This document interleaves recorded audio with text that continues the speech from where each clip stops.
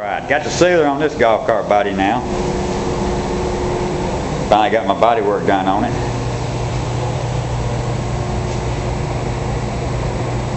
Not too bad. Gotta let this dry for about 10 minutes. And start shooting the blue.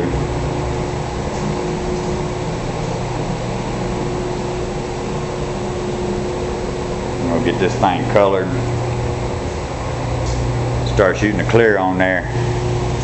Get this thing painted where we can call it a night.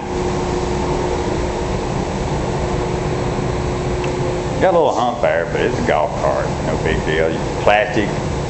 Ain't like metal. You can knock them humps down, but you get a dent in plastic, it's there. But it won't be that noticeable. It'll be a pretty color golf cart. And I have seen a lot worse on these bodies.